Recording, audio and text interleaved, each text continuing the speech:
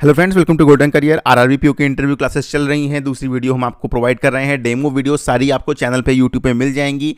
Interview पे अच्छा perform करना है सिलेक्शन लेना है एंड इंटरव्यू की तैयारी करनी है तो हमारे इंटरव्यू क्लासेस ज्वाइन करिए। वीडियो के डिस्क्रिप्शन बॉक्स में लिंक दिया हुआ है, सिर्फ़ फाइव डबल नाइन रुपीज़ की क्लासेस हैं सिक्सटी डेज़ की वैलिडिटी है, जिसमें हम अपने पोर्टल पर डेली वीडियोज़ अपडेट कर रहे हैं। लगभग चौदह पंद्रह वीडियोज़ वहाँ पर अपडेट कर दी हैं एंड आज की इस वीडियो में हम देखेंगे कि आपको कैसे इंट्रोडक्शन देना है। जब आप वहाँ जाएँगे इंटरव्यू के लिए, खुद को कैसे इंट्रोड्यूस करेंगे, क्या बोलना है, क्या नहीं बोलना है, क्या करना है, क्या नहीं करना है, क्या अवॉइड करना है, सब कुछ हम यहाँ पर इस वीडियो में डिस्कस करेंगे। ये हैं हमारे लास्ट ईयर क्लासेस के रिव्यू लेकिन ये बहुत थोड़े से हैं। पूरे रिव्यू देखने के लिए आप हमारे यूट्यूब चैनल के कम्युनिटी पेज पर जाइए और वहाँ पर रियल रिव्यू देखिए पॉजिटिव भी निगेटिव भी, जो भी रिव्यू हैं, आप वहाँ पर देख सकते हैं। इंटरव्यू क्लासेस में आपको ये सब चीज़ें मिलेंगी। अस्सी सौ वीडियोस डेडिकेट टेलीग्राम ग्रुप अपनी क्वेरी रेज कर सकते हैं। Interview related current affairs Hindi English newspaper PDF past year के इंटरव्यू क्वेश्चन एक्सपीरियंसेस बाकी जो भी अपडेट्स होंगे, वो भी हम आपको प्रोवाइड करेंगे।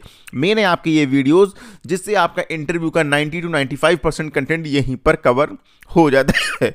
चलिए वीडियो का माफ़ करिएगा। वीडियो का डिस्क्रिप्शन बॉक्स चेक करिए। कमेंट सेक्शन में पहला कमेंट चेक करिएगा। वहाँ पर आपको ज्वाइन करने का लिंक मिल जाएगा। अगर आपने 90 क्वेश्चंस मेंस एग्ज़ाम में विद एक्यूरेसी किए हैं तो आप क्लासेस को ज्वाइन कर सकते हैं। चलिए देखते हैं हाउ टू इंट्रोड्यूस योर self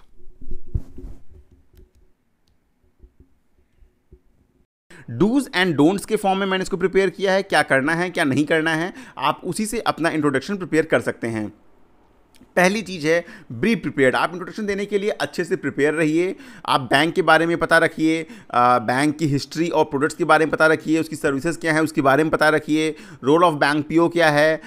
Specific requirement of the job क्या है, ये पता रखिए। ऐसा मैंने स्टार्टिंग में क्यों बोला? क्योंकि जैसे ही आप इंट्रोडक्शन ख़त्म करेंगे या बोलेंगे या हो इंट्रोडक्शन में आप बोल दें कि आप बैंक के जॉब में क्यों आना चाहते हैं? तो आपका क्वेश्चन बेसिकली जो पैनल स्टार्ट करेगा, वो इसी चीज़ से स्टार्ट करेगा कि आपको बैंक के बारे में पता क्या है, कितना पता है मतलब बैंकिंग होती क्या है बेसिक आपको पता है कि नहीं पता है।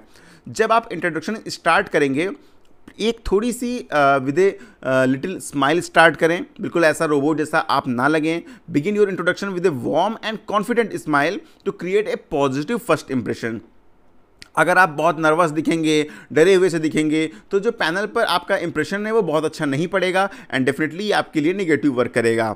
स्टेट योर नेम इंट्रोडक्शन जब स्टार्ट करने हैं तो पहले क्या मिलना है? जब इंट्रोडक्शन का जो स्टार्टिंग करनी है वो आपको, वो क्लियरली एंड कॉन्फिडेंटली आपको अपने नाम से करनी है। Sir my name is Rakesh Sinha ऐसे करके आपको करनी है, ठीक है? ऐसा नहीं है कि आपने पहले कुछ और बता दिया नाम अपना बताना ही भूल गए नाम अपना लास्ट में बता रहे हैं। तो ये चीज़ आपको नहीं करनी है। आपको अपना नाम से स्टार्ट करना है।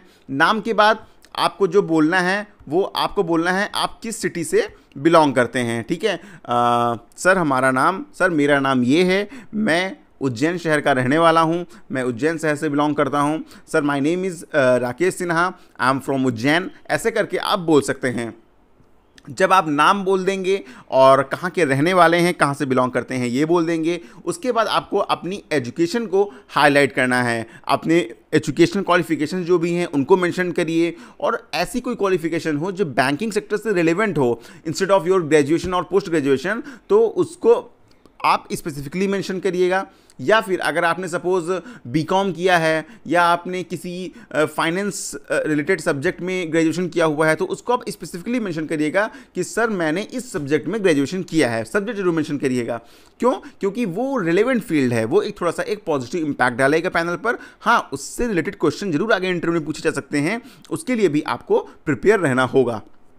नाम बता दिया, कहाँ के रहने वाले हैं बता दिया, अपनी एजुकेशन क्वालिफिकेशन के बारे में बता दिया। उसके बाद आपको, अगर कोई आपका वर्क एक्सपीरियंस है, अगर आप इससे पहले कहीं काम करते आए हैं, अभी काम नहीं कर रहे हैं, नहीं कर रही हैं बट पहले आप कर रहे थे तो आप उसको वहाँ पर ज़रूर मैंशन करिए। काम कैसा भी रहा हो, आप अपने वर्क एक्सपीरियंस को ज़रूर मेंशन करिए।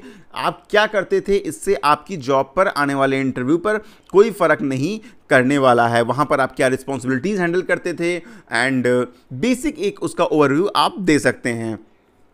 उसके बाद आप डिस्कस करिए अपनी अचीवमेंट के बारे में। अगर आपने कोई एक ऐसी अचीवमेंट जो है कोई अवार्ड जीता हो कोई आपने स्पोर्ट्स में स्टेट लेवल पे सिटी लेवल पे कुछ रिप्रेजेंट किया हो आ, उसको आप मेंशन कर सकते हैं।